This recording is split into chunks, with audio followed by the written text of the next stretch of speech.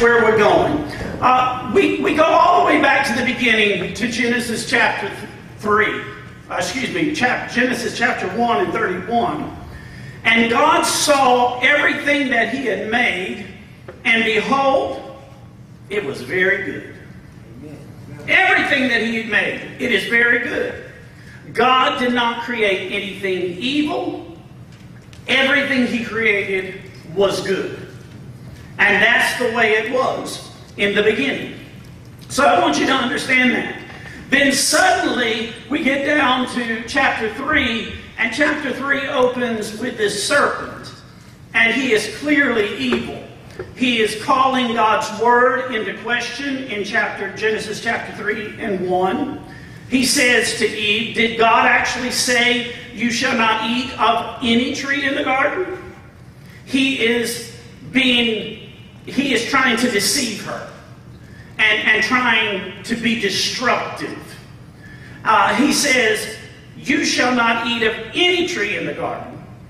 Uh, in Genesis 2:17, God has said in that chapter, That day that you eat of this tree, you shall surely die. But the serpent says, You surely won't die. There again, deception. For God knows that when you eat, that your eyes will be opened and you will be like God. Now, listen. In this world we live in today, in this world we live in today, everybody in this, I'm, I'm, I'm trying not to, to put it on, on, on a certain generation, but church, we've lost a couple of generations in the church. And what, what they don't understand is the Word of God. And that's our fault. Uh, because we haven't taught them the Word of God. We've gotten away from Sunday school. We've gotten away from teaching the Word. We've gotten into a world today where all people want to do, and I'm talking about people that call themselves Christians, is they consider themselves Christians because they may go to church on Sunday morning or watch online on Sunday morning and, and pay their tithe and have a Bible, but they don't have relationship Amen. with the Lord and Savior Jesus Christ. They have religion. Amen. Religion ain't going to get you to heaven. It is relationship. Okay? And that relationship is so important. I, I haven't lost my train of thought here. Why does Satan exist? Uh, the, the, the two key words in this that you're going to get out of this is Satan exists for Christ's glory.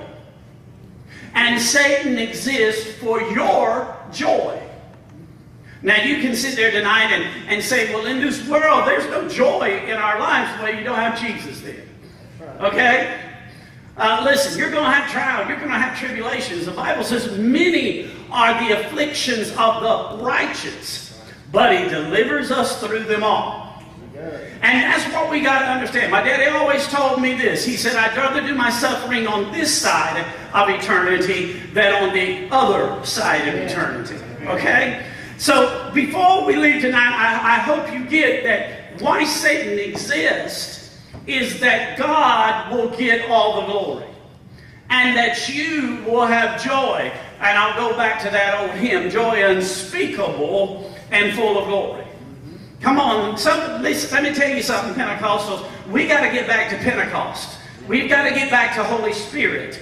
We've got to get back to the third part of the Trinity that third part that shows in us and out of us the glory of God and that praise and worship. The one thing I enjoyed so much in, in General Conference, every night the stage was full of teenagers and, uh, well, excuse me, some, I'm sure some were teenagers, but they were from all of our schools. We have three Pentecostal in this church, uh, has three colleges.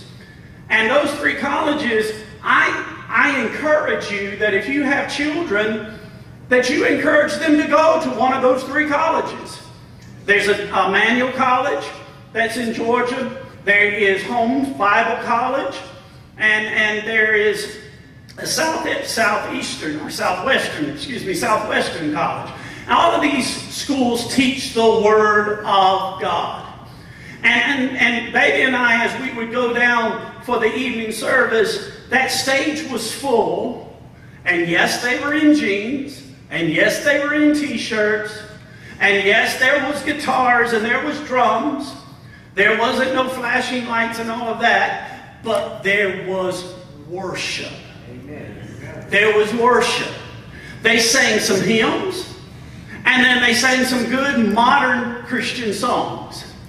And you saw the old, the middle-aged, and the young worshiping. And the greatest thing was you could feel the presence of the Lord. And church, I sat there with tears rolling down my face because that's my vision.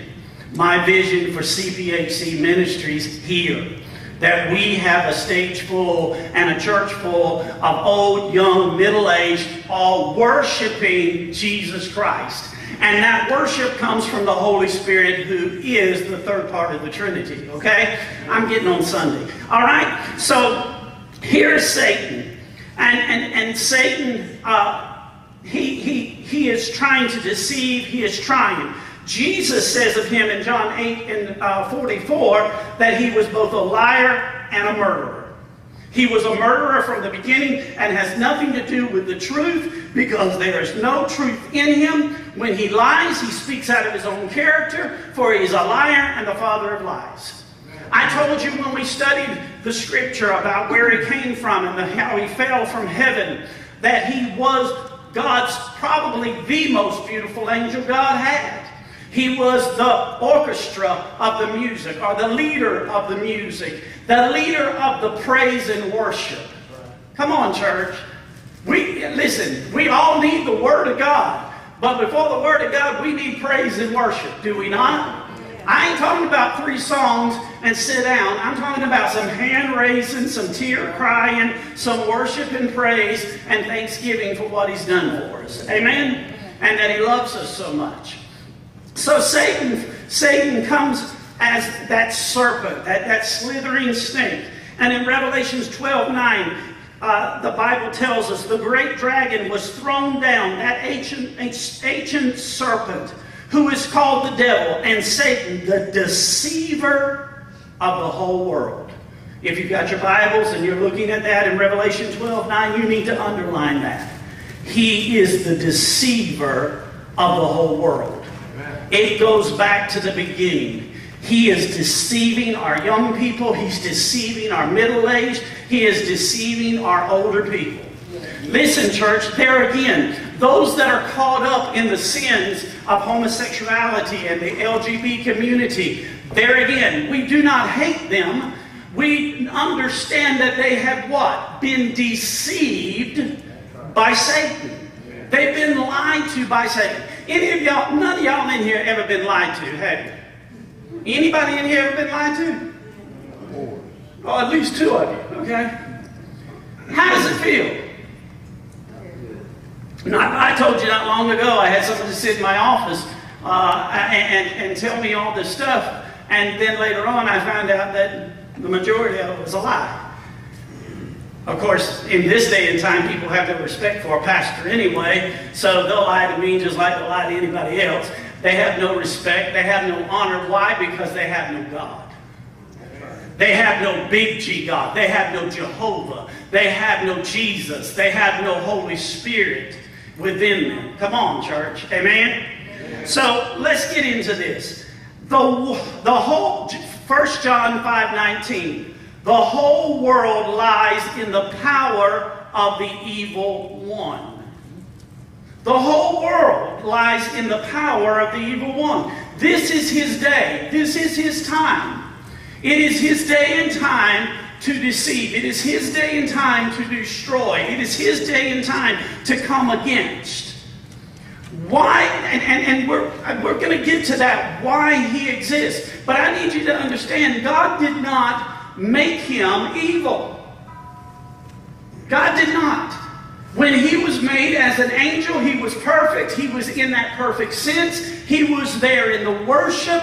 But when that worship started going to God, and when that worship started going, there's something that came up within him called pride. And just like you and I, God made the angels to where they could either receive Christ and worship or reject. I've said this many times before. None of you want somebody in your life because they're forced to be in your life. You want somebody who wants to be with you, who has feelings for you, that who loves you. At the end of this, I wrote this uh, God doesn't want robots, He doesn't want slut slaves. Brother Heller brought this up that in a few years we probably won't have denominations, we won't have Listen, my wife came to me and told me that on the campus of, it's Winston-Salem. Was that right, baby? I believe it is the Winston-Salem College. The Baptist church there has closed their door after I don't know how many years, 60 some odd years. Wake Forest. Wake Forest, excuse me, Wake Forest.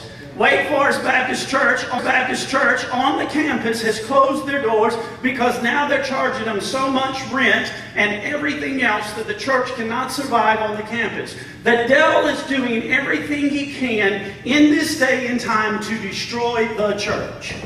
And you need to understand the only way that you and I can defeat the enemy is to know the enemy. Come on, church. You got to know him. You got to know who he is. You got to know how he operates. Do you not understand when war goes on? And, and you'll probably hear me talk more about this because we had the head of the IPHC um, churches in uh, Ukraine who spoke uh, on the, the uh, second night of conference uh, uh, through an interpreter. And, and, and what an awesome service that was. And, and how he came to tell us the truth that the news is not telling you about the war in Ukraine. And I'll fill you in all on that later on because it's some really good information. But how God is working in this war that's going to end up into Revelation, uh, the tribulation, and the, the, the war of Armageddon. Church, don't worry about World War III. It ain't going to come. The next war will be the war of Armageddon. And, and that's how close we are to the, the, the, the rapture of the church, okay? So here God tells us that the whole world lies in the power of the evil one.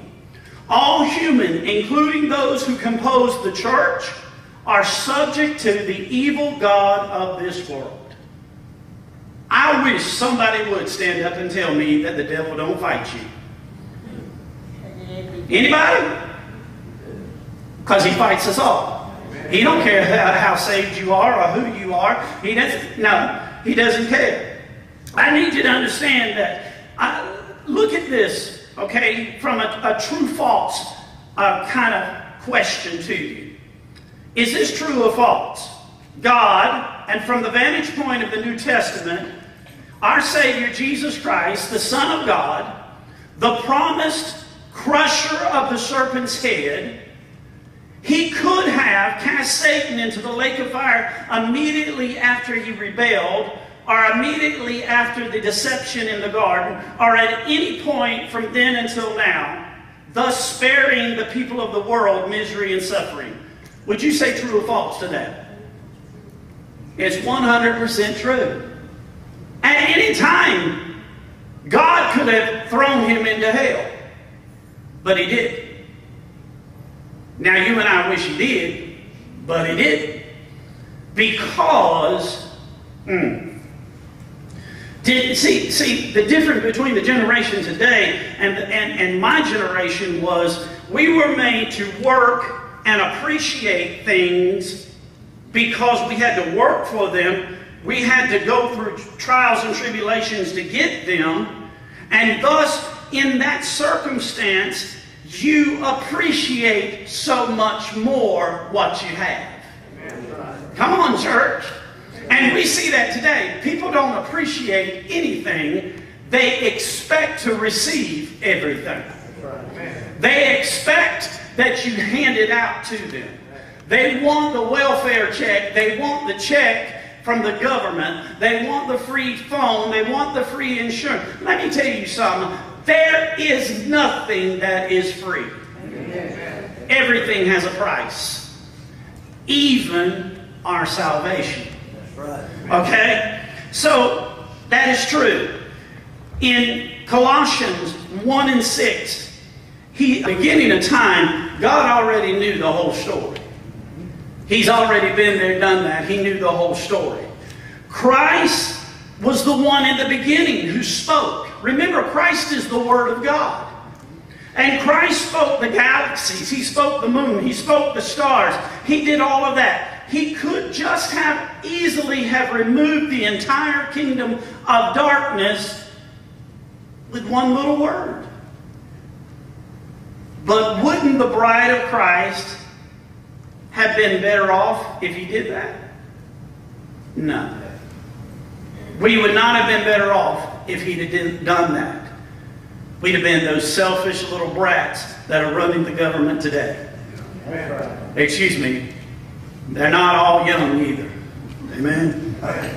Some of them have dementia. But anyway, uh, let me move on. Okay? So why didn't the divine bride, bridegroom just destroy Satan from the beginning? I want you, I want you to look at this. Christ allowed the enemy to exist. All right? I want you to look at Luke chapter 4, 18. Jesus came to proclaim liberty to the captives. Jesus came. Look at this. The Son of God, the perfect Son of God, no sin, perfect, the second part of the Trinity, lowered himself to dirt. Yes, he did. Did he not? Yes, he did. What are you made of? Dirt. You're made of dirt. I told you before I left, you're not a monkey. All right? You're made of dirt. So he lowered himself because he loves you so much. He loves the sinner so much. He loves the homosexual so much. He even loves Democrats. He loves everybody. And he would have that no man die and go to hell. Okay? People, uh, of course, they're going to come against us because we preach against uh, that there is a hell and that one day God will send you there. No, God will not send you there. You bought the ticket to hell. You're the one who did not believe in Christ. You're the one that rejected Christ, and thus, with your rejection, you chose your eternity. When I taught young people for so many years, how many of y'all know there's always bullies? Even in the church, there's bullies. All right? There's people that, that bully other people. And when I taught the young people, I always stressed to them, I said, there's people out there that they'll, they'll pretend to be your friend. They'll pretend to be on your side. They'll, they'll, they'll, they'll want you to party with them. They'll want you to do all of these things that are fun for a season. Everybody knows sin is fun for a season. It is. But what does it lead to? Destruction. It leads to destruction. I've never seen a happy alcoholic. I've never seen a happy.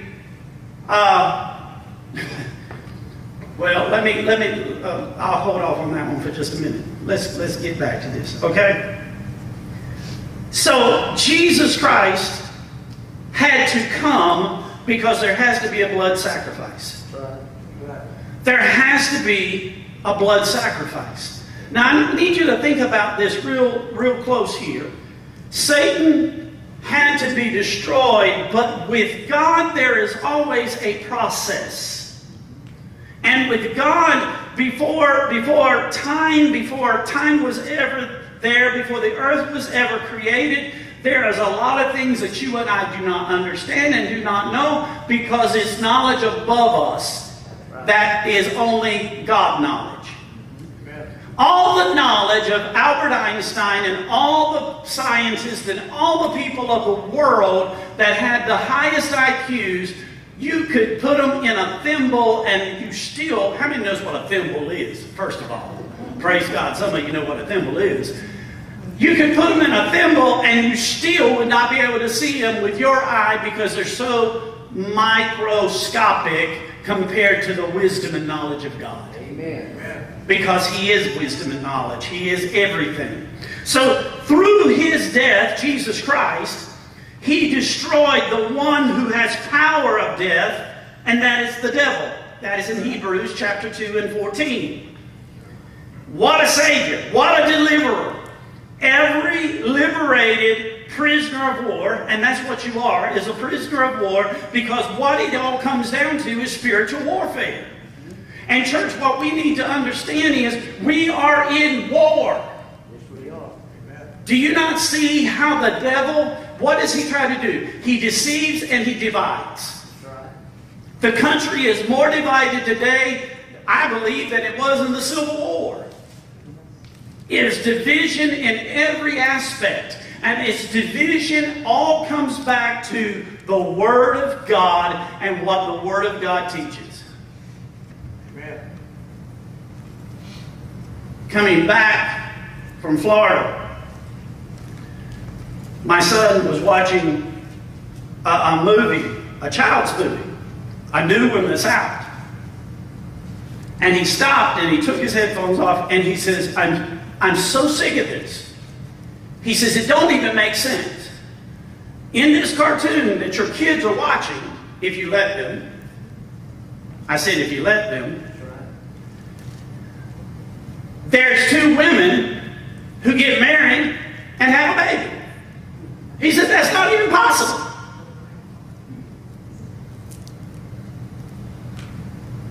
Everything you see on television is shoving homosexuality, LGBT, and all of that down your throat and telling you that if you are against it, you are a racist and you are a bigot.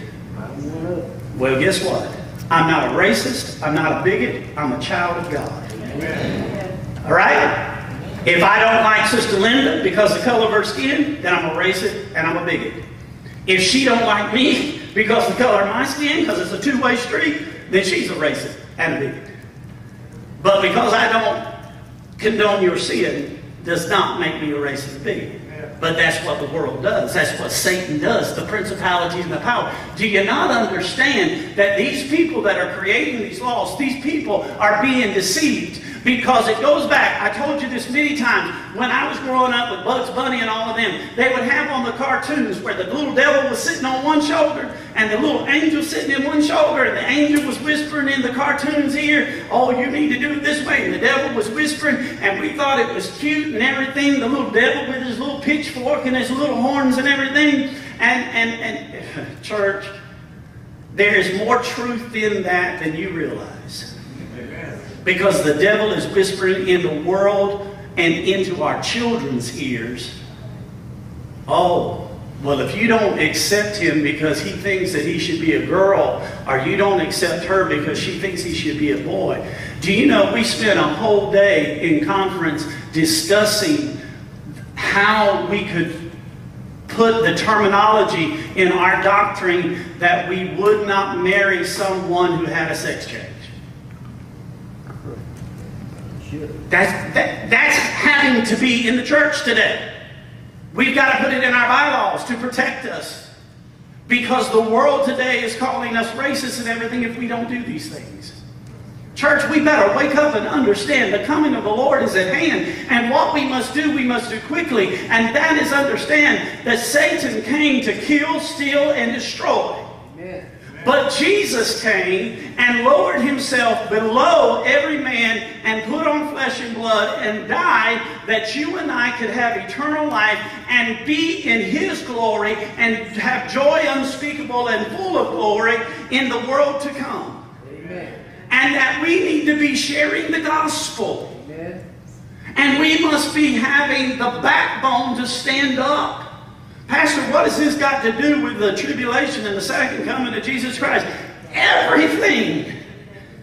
Because your enemy is going to do everything he can experience the extraordinary magnitude of joy. If we were not enslaved, we wouldn't understand what it's like to be free. Right. Do you get it? Yeah. How many remembers being a sinner? How many remember when you got saved? And, and I, I remember it so well when I was a child, and I remember being on the front pew, kneeling down, and I was praying. And, and as a pastor's child, I got saved every Sunday. Some of y'all will get that when you get home. Amen. Because some of y'all needed to get saved every Sunday. But when it truly came from the heart, and I felt literally, I felt like something was lifted off my shoulders. Anybody ever had that feeling? That's called joy unspeakable and full of glory. It means that the blood of Jesus Christ has been applied to your life, and you are no longer a part of this world. That you are a part of a new kingdom that is coming. And yes, you're going to go through suffering. Yes, you're going to go through trials. Yes, you're going to go through all the pains. And yes, you're going to go through death. But you know that you know that you know because of two pieces of wood and three rusty nails that you have overcome the world through Jesus Christ because he overcame the world. Okay? All right? Jesus you, you, can't, you can't understand there again unless you can appreciate freedom unless you've been in captive. And let's go back there. That's the reason why America is in the state she's in today. It's because the kids and the generation that's trying to run this country today has never really had to suffer. Amen. Generation. They've never really had to suffer. To do without. And now, oh, I'm going to go there. I ain't preached in three weeks. Y'all better watch out. Now we got monkeypox. All right? My sister, my older sister called me, and she hadn't got the full explanation of what monkeypox is. All right? Anybody know what monkeypox is? Monkeypox is like the 1980s when AIDS came out. Where did AIDS start? Homosexuality. Where did monkeypox? Monkeypox.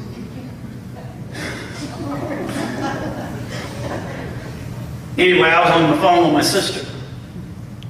And with DT having COVID, and we were kind of strapped to the house for a week of vacation with COVID. Either I'm doing something right or I'm doing something wrong. Because the devil sure is after me. And I, I, I, I walked a lot while I was gone. And I was walking, I was talking to my sister, and she was scared. I said, You ain't got nothing to be scared of. First of all, it's not an airborne virus. Second of all, the majority are homosexuals. Third, it has to do with your behind. I hate to tell you, I'm just being honest with you. All right? And fourth, you got to be in skin contact with those people that's got the monkey. Mm, But they say they came from a monkey, so they named it after him. Monkeypox. In order to get it. The question that I heard was Do you think that this is God's retaliation for homosexuality? I said yes. Just as I believe AIDS was. Let me tell you something. You're going to hear more and more about disease. Listen, COVID is here to stay. If you ain't got it, you're going to get it. And even if you got it, you'll probably get it again. It's going to become like the new flu, the new cold. They've already said that. Church, we don't need to be, listen, the devil has deceived us for three or four years to get our minds focused on that. And I'm not saying we shouldn't have taken the precautions we should have. If I had to do it all again, I would still take the precautions that I took, did to protect my sheep.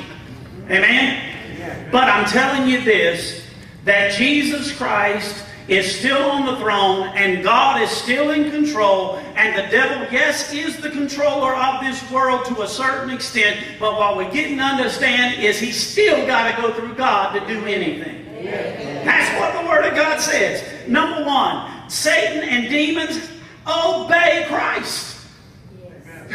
Even when Jesus put on flesh and blood, they, the demons still were scared of him. Listen to me. Consider Christ's 40 days battling the devil in the wilderness. Remember, John the Baptist baptized him in the, in, in the Jordan. The, the uh, Holy Spirit descended on him as a dove from heaven. And out of heaven came the sound of God who said, This is my son in whom I'm well pleased. And immediately Jesus came up and went out and went into the wilderness. And for 40 days and 40 nights he fought. He did not eat. He did not drink. He fought with Satan. And Satan tried to convert him into a sinner.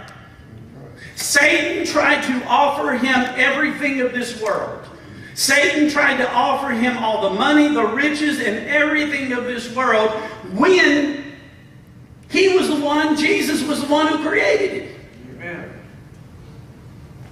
But see, here's the difference, and you need to understand this. Jesus was now in the flesh. And see, listen to me. He had to overcome the flesh in order to sit at the right hand of the Father. You need to get that, okay? See, we just think that because he was the Son of God, that, that he didn't have to fight the trials and the tribulations like you and I did. Yes, he did. That's the reason he is so honored and he is above everything name and above all because he put on flesh, he put on an earthly mind, and he still overcame the world through the Father and the Holy Spirit helping him, just like he helps you and I, but he did it through the flesh. So those 40 days in the desert, with Satan. He was in the flesh, and Satan was tempting him. You may think, well, it was no big deal. He's the Son of God, so he, he you know, but he was just like you or me. How many y'all been tempted by the devil? Look, he's calling right now to tempt somebody. How, how many? How many's been tempted by the devil? Every last one of us. How many of you, 100%, has never given in? Exactly. John the Baptist. And people thought he was crazy. He's out there in camel hair. Oh, don't you know the Pentecostals sure wouldn't have had him. Because he didn't have on suit and. He had on camel hair and a, a locust and honey. And he's out in the desert preaching, repent, repent, repent. And you know who he was preaching to? Who was he preaching to? Somebody said it. He was preaching to the church of that day. He was cheering. You know why? Because the church of that day had become like the church today. He's choking because people think that that's the only version. If God can translate it through King James, if you'll go back, King James was not perfect and the people he had translated was not perfect. And I'm not against it. This is my King James Version, and you see it's worn worse than any of them because this is my shit. This one, baby told me I stopped using this one, went to the other one. She said, You don't preach as good. Get that blue one back out.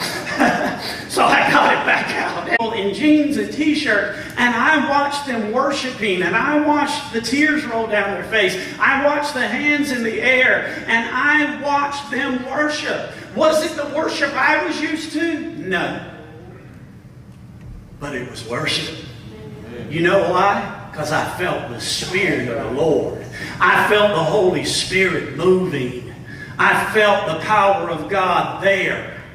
And church, that's where CPHC Ministries is going to get back to. We're, listen, we're, we're, we're ahead of the game because we're already seeing it. I've heard about the two services and the altar being filled and the good services that you've had. But I'm telling you, something greater's coming. Something greater's coming. We've had two preachers that I've had in the pulpit that, that God had here for the appointed time that weren't supposed to be here, but, but because of circumstance, I had them come in. I was supposed to be away, but I was here. And they both spoke a prophetic word over this church, and it was that this church was going to go places and do things different like never before for the kingdom, and souls being won to the kingdom. Somebody give God praise.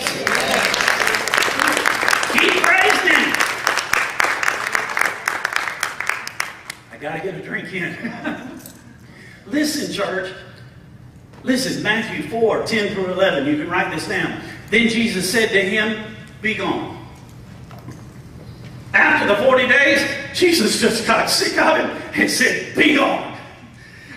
Satan, for it is written, You shall worship the Lord your God, and him only shall you serve. Amen. You better get that. You better get that. Satan wants you to worship him. And when we sin and when we go through the worldly things, we are worshiping Satan. And we all fall and come short sometimes. Amen. Amen? Especially, listen. Then the devil left him. Jesus said, Be gone. And the devil had to go. Church, listen. This is, this is my Savior, Jesus. This is the bridegroom. He said, Be gone. And the devil left him. And angels came and were ministering to him. What does that tell you? It tells you that Jesus Christ was weak. He had not eaten or drinking, drank, excuse me, terminology. He had not, hey, I'm in Chadford, it don't matter. He had not had no water. He had not had no Mountain Dew. He had had no uh, Kool-Aid. He had had nothing for 40 days. And he was in the flesh. Not only was he, let me, let me tell you something. How many knows that when the body gets weak, this thing up here, the first computer ever invented, the human brain, does what? It gets weak. It gets weak. So what did God do? He sent down angels and ministered unto Jesus in the wilderness. Church, do you know what will happen to you? Now listen to you. Listen to me. This is why it's so important that our children and our young people learn to worship. Amen. Learn to worship. Let me tell you something. You can tell them how to do it all you want to. See, I'm one of those people. Don't, don't, don't. I, I, I, you, you got to not give me a book to read to how to do something. You got to show me. Amen. And you show me, I can do it. What are we showing the generation today?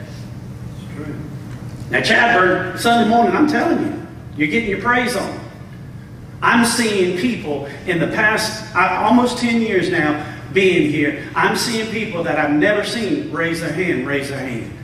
I'm seeing people come to the altar that I've never seen come to the altar, come to the altar.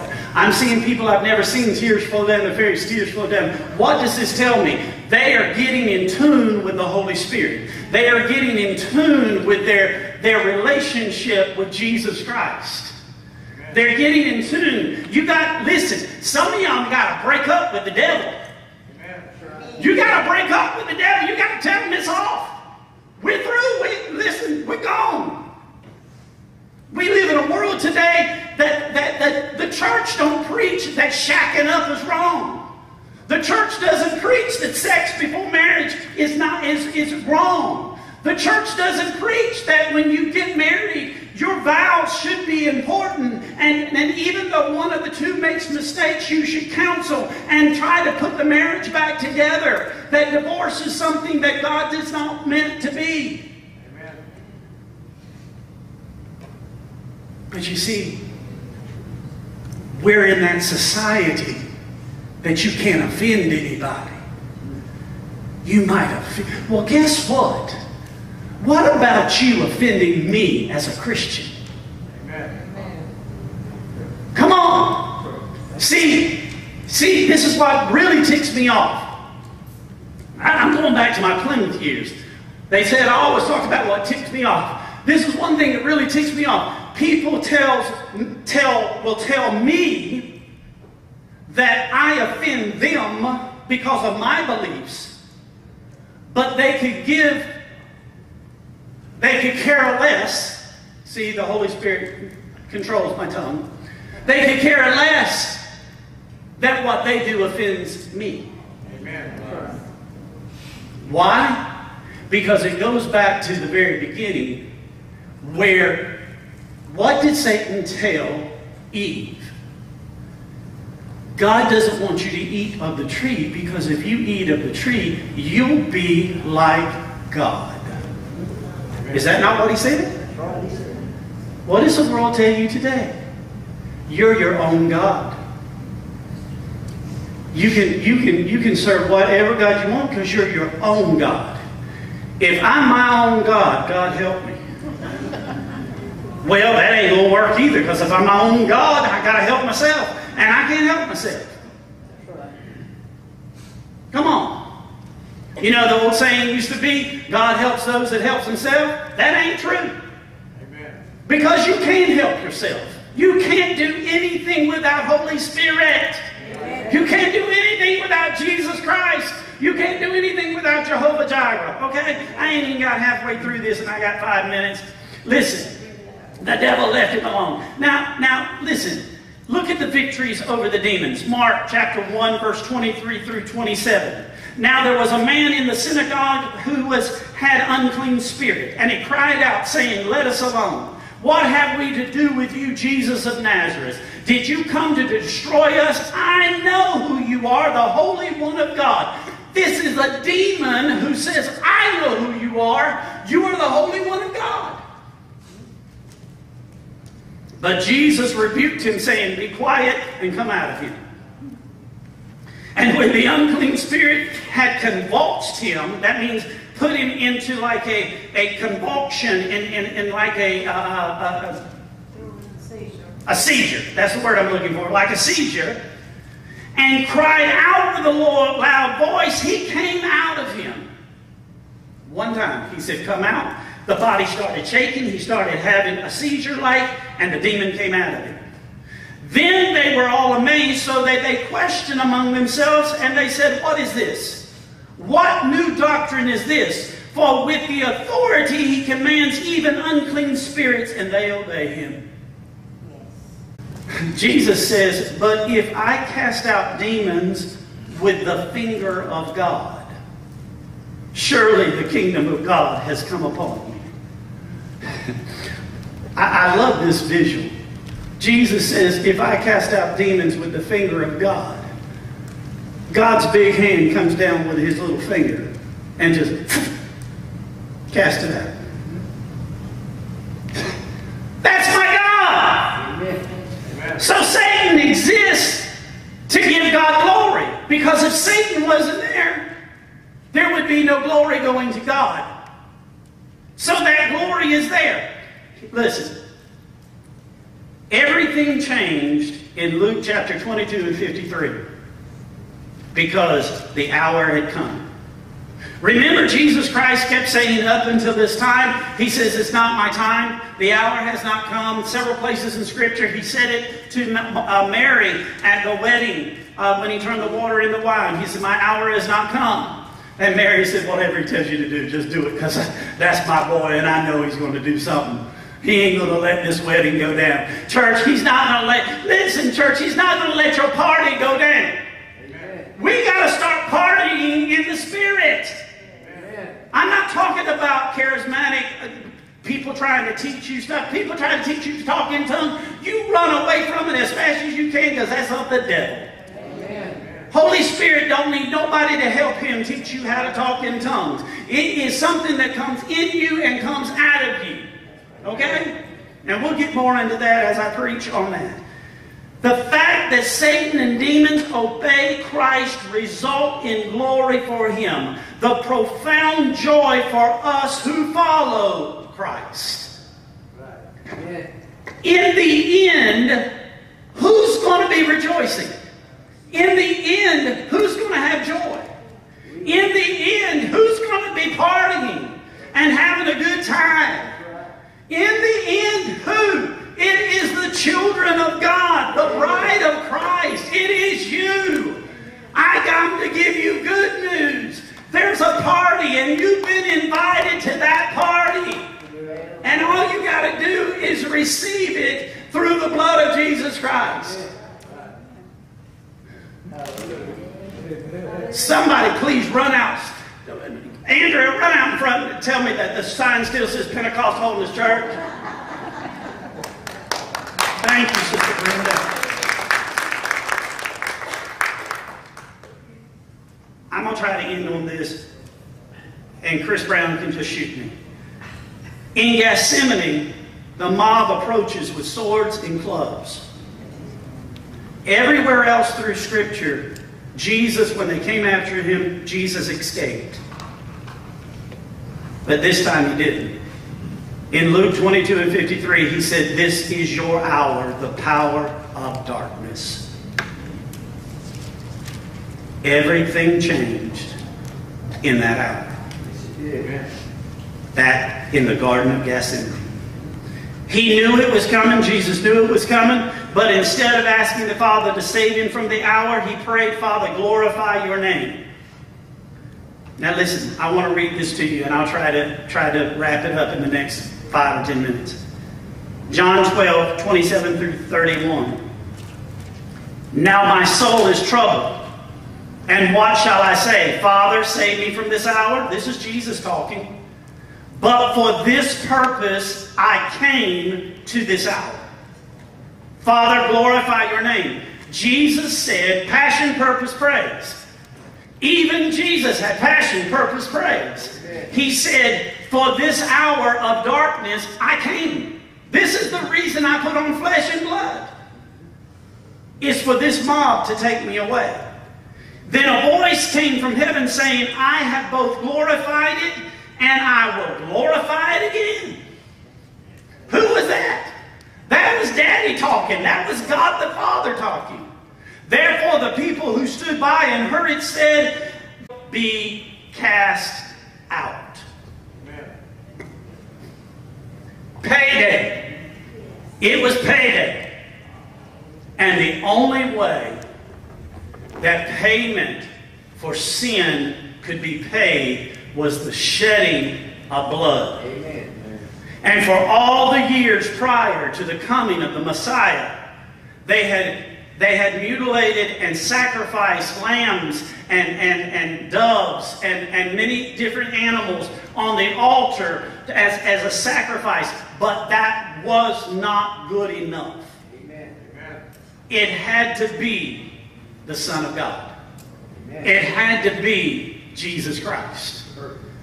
That perfect sacrifice, the only human being. It had to be a human being. Amen. And it, the only human being that had never made a mistake, Amen. who never sinned. Right. He was perfect. He was. and he gave himself. This drama called life has a happy ending. How many, how many of your lives is just a drama every day? Some of y'all didn't raise your hand. Well, glory to God, please talk to me after church because I'd like to know why. Romans 16, 17 through 20. Now I urge you, brethren, note those who cause division and offenses contrary to the doctrine which you learn and avoid them. I, am going to get this one. I'm, I'm tempted to get this one tattooed on my shoulder. And I don't even believe in tattoos. You know, I know why? Because one of the biggest places God, the devil, the devil tries to cause confusion and division is in the church. Amen. Listen to what the word says. Paul says, Brethren, those who cause division and offenses contrary to the doctrine which you've learned, avoid them. Amen. And you know what I do? I avoid those people as much as possible. Because you know what they do? They bring you down. How many's got people that you know bring you down? How many y'all avoid them? I'll be, I'll be at Walmart. I'll, I'll, I'll run down another aisle. Lord knows I will. For those who are such do not serve the Lord Jesus Christ, but their own belly, and by smooth words and flattering speech deceive the hearts of the simple. Mm. For your obedience has become known to all. Therefore, I am glad on your behalf, but I want you to be wise in what is good and simple concerning evil. He says, I want you to understand what evil is. I want you to understand who Satan is. I want you to know your enemy, so when your enemy tries to use you, you come against him by the blood of Jesus Christ. Amen. And the God of peace, look at verse 20, the God of peace will crush Satan under your feet. Amen. Your feet shortly. The grace of our Lord Jesus Christ be with you. Amen. Amen. That's how Paul ended it with the Roman church. He said, There's going to be people in the church, outside the church, that's going to offend you, avoid them. They don't have flattering words and everything else, but just avoid them. And then he said, The God of peace will help you crush them, like he said in Genesis. What happened in Genesis? He told uh, mankind, he said there was going to come the offspring of a woman. That was Jesus Christ, that would crush the serpent's head. Who was the serpent? The Satan. That was the devil. And that day has still yet to come, but it is coming soon. Because he is the ruler of the world right now. He is the ruler and the principalities of this world. And he is in control to a certain extent. But I'm telling you, there's coming a day, and it's coming real fast because Russia's bringing it to pass. And, and Biden's bringing it to pass. And, and, and all these government officials that are passing laws against the Word of God, I don't care what, if they're Democrat, Republican, or Independent, it don't matter. When you go against the Word of God, you are going against God Himself, and you're going to pay the price for it. Because there's coming a day real soon that the eastern skies will split open. Jesus Christ will step out on a cloud. The trumpet of the Lord shall sound. The dead in Christ shall rise, and we that remain shall be called up to meet Him in the middle of the air, and forever we shall be with the Lord. And then we're going to get a white linen robe, and we're going to get a pair of new sandals, and we're going to get a brand new horse that's going to be spotless white, and we're going to ride behind the King of Kings and the Lord of Lords because it will be on his thigh, and he will come back, and there'll be no more Russia, there'll be no more United States, there'll be no more countries because every kingdom shall bow, and every man and woman that has ever lived shall bow before Jesus Christ and proclaim him King of kings and Lord of lords. And those that have rejected him will be cast into hell with Satan and the final enemy, death. Death will be thrown into hell along with uh, uh, Sheol, which is the hell that is underneath the earth. And there will be a new heaven and there will be a new earth. And we will have joy unspeakable and full of glory because the King of Kings will take the throne and will rule and reign because he is the only one that is anointed to open the seals and to take back what the Satan has tried to destroy. Somebody give God praise. Stand to your feet. Jesus is coming. What are we doing? What are we doing? It is war. The last part of this is spiritual warfare. I may go into that next week as the Lord leads. But you need to be praying for Sunday. You need to be praying for me that God gives me the Word. Tomorrow I plan on getting my headphones, getting in the Word, and going and listening because as God is leading me with these sermons on Holy Spirit, the Holy Spirit, because church, we need the Holy Spirit to bring revival, not in a preacher, not in a bunch of services, but in us. Somebody say, Father, I need revival by the Holy Spirit in my life. Father, right now I praise you and I thank you for the blood of Jesus Christ. I thank you and praise you that, Lord God, you did not destroy Satan in the beginning, but Father God, you gave all of mankind the chance, Lord God, to spend eternity with you. That, Lord, you loved us enough that you sent your only begotten Son, that if we will believe on him, receive him in our lives, and repent of our sins, then, Father, we can have everlasting life. Now, Father, in these last days, the enemy is whispering in our ears. He is doing everything to tell us the lies that he can only tell. But, Father God, you are there if we will just reach out. Father, I pray a supernatural, spiritual anointing to come down upon CPHC ministries and upon every ministry in this county, Father God, that your Holy Spirit will move like that mighty rushing wind in Acts chapter 2. Lord God, it was not a wind, it was a sound, but it was as the sound of a mighty rushing wind. And it sat upon them with that cloven tongues of fire. And Father, they were filled with the power of the Holy Spirit. Father, let it be. Let it be, and let us take up the Word of God, which is our sword, and go forward to fight the battle and take our children, our grandchildren, our nephews, our nieces, our neighbors, everybody that we can see, and win them to the kingdom. Father, let it be. Somebody say, Let it be, Lord. Say it again. Say it again. Now, Father, we give you the honor, we give you the glory, because all honor and glory go to you.